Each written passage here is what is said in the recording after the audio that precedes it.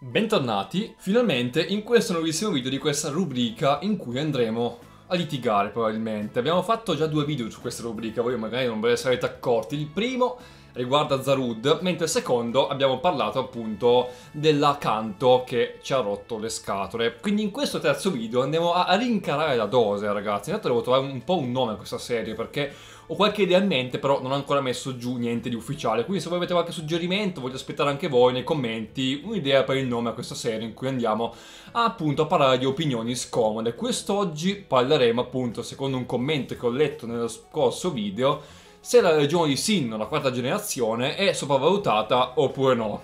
Quindi io mi aspetto veramente di tutto e di più da quello che dirò in questo video quindi farò attenzione. Ma vi aspetto anche massimo supporto qui sotto da parte vostra, con un bel commento, ragazzi, sulla vostra opinione, ma anche un bel mi piace, che come sempre è molto molto utile per supportarmi e mandare avanti il canale. Quindi mi raccomando, non litighiamo troppo e partiamo con il video. Beh, come posso cominciare questo video? La quarta generazione, i giochi di Sinnoh sono veramente speciali per me, rappresentano un periodo in cui ho giocato a Pokémon veramente per tantissimo tempo. Mi ricordo i tempi di Pokémon Platinum in cui tutti avevamo un DS, avevamo Pokémon Battle Revolution per la Wii, ci studiavamo di continuo ai tempi delle scuole medie, mi ricordo che tutti avevano Pokémon Platino, era il gioco del momento, quindi questi giochi mi legano a tantissimi ricordi del passato, quindi giochi che ho veramente apprezzato, ma la domanda è, sono effettivamente sopravvalutati questi giochi?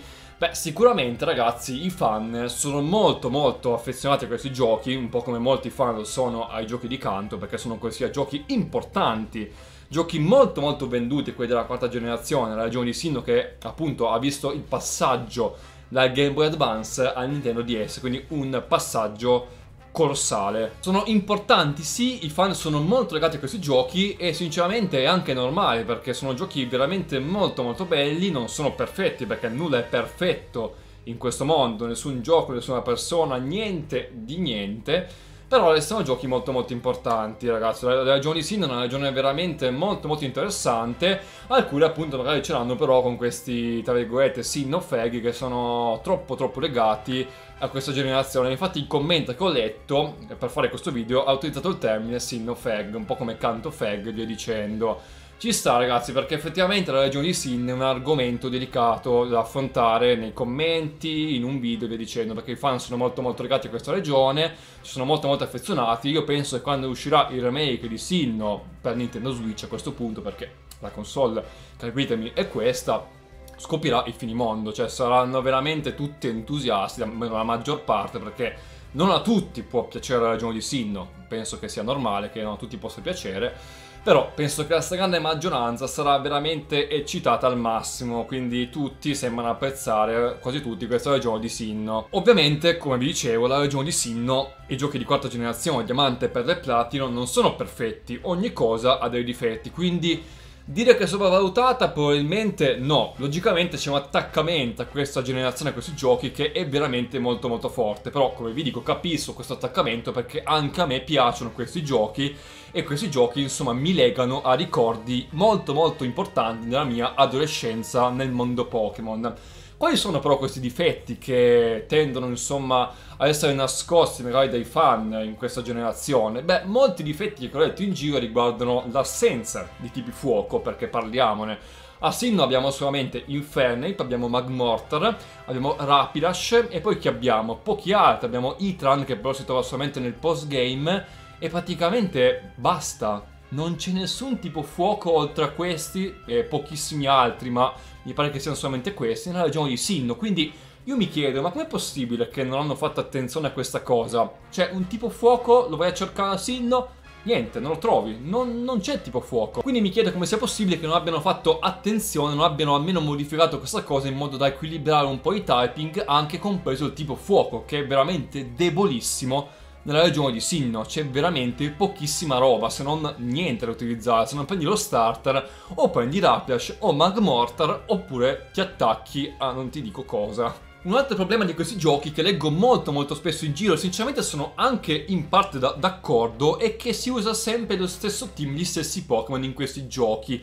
Effettivamente può essere vero ragazzi, perché la Legione di Sin è piena di Pokémon interessanti, ha dato un sacco di evoluzioni a Pokémon vecchi e la cosa mi piace, piace tantissimo anche se molti non sembrano apprezzare molte evoluzioni di Pokémon vecchi perché sono molto molto legati a canto e quindi vabbè discorso vecchio. Però effettivamente tra tanti mostriciattoli che troviamo nella regione di Sinnoh in molti non li userei minimamente in un'avventura non mi sognerei mai di utilizzarli in battaglia. Quindi ho utilizzato 100.000 volte Staraptor 100.000 volte Luxray, eh, Flotel e via dicendo tutti i Pokémon che ho utilizzato ok ci sta a variare, però molti Pokémon non si prestano molto, insomma, ad essere utilizzati per tutta l'avventura, o meglio, questo è quello che ho letto per la maggior parte in giro tra le opinioni de dei fan. Sinceramente un po' sono d'accordo, molto spesso anch'io ho utilizzato sempre lo stesso team, o meglio, ho fatto poche variazioni nella regione di Sinnoh, quindi è difficile magari utilizzare tanti Pokémon diversi in quella regione, magari molti Pokémon non sono molto utilizzabili. La quarta generazione quindi è veramente buona, non fraintendetemi, però sinceramente ci sono cose in cui altre generazioni magari sono migliori, per esempio la trama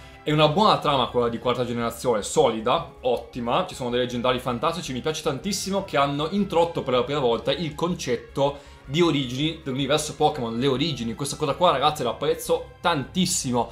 Anche se la trama di quinta generazione per me, almeno per me, resta ancora inarrivabile, però la magia che ha offerto la quarta generazione anche con il postgame sinceramente hanno delle zone che mi piacciono veramente tantissimo a Sinnoh nel postgame, il parco lotta da introdotto dopo Smeraldo, una cosa veramente interessante, le ambientazioni, anche se alcuni non le apprezzano, la grafica, le animazioni troppo troppo lunghe e lì posso essere d'accordo. Quindi la regione di Sinnoh è positiva come quarta generazione, non è così sopravvalutata, secondo me, insomma, merita il suo successo, sicuramente ha dei difetti anche lei. Ci sono generazioni migliori eh, sotto altri punti di vista, per esempio la trama in uh, quarta generazione è inferiore a quella di quinta, secondo me, perché quella di quinta resta inarrivabile. Però dire che è sopravvalutata secondo me è un pochino troppo, forse è vista così perché i fan sono troppo troppo affezionati, non si può toccare la quarta generazione e quindi è un argomento abbastanza tabù, difficile da toccare e perciò viene vista un pochino così da alcuni fan che la ritengono sopravvalutata per il troppo affetto che questa ha da parte dei propri fan. Resto comunque sia dell'idea che la quarta generazione sia la migliore mai creata nel complesso da tutti i giochi, quindi sì, noi anche Art Gold e Soul Silver.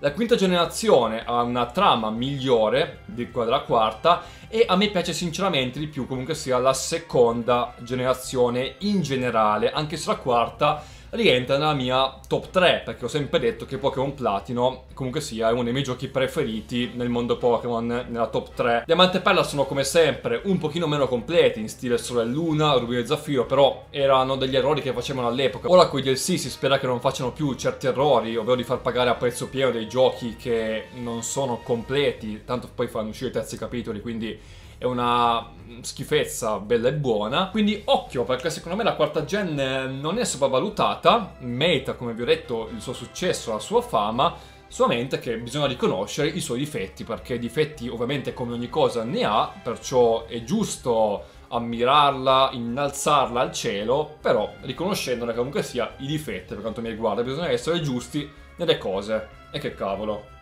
Quindi ragazzi miei, vediamo un po' quest'oggi quanto riusciamo a litigare nei commenti. Io vi ricordo anche di suggerirmi magari un bel nome per questa serie che è già al terzo episodio. Ragazzi siamo già al terzo episodio e chissà su quale argomento litigheremo la prossima volta. Sono veramente curioso di scoprirlo, quindi mi raccomando suggeritemelo nei commenti e anche un bel like di supporto per supportare il video e il canale. Mi raccomando, passate anche da Instagram. Per oggi possiamo dire quindi che dal buon Rocket è tutto, quindi io vi auguro un buon pomeriggio, una buona giornata e ovviamente, come sempre, bye bye!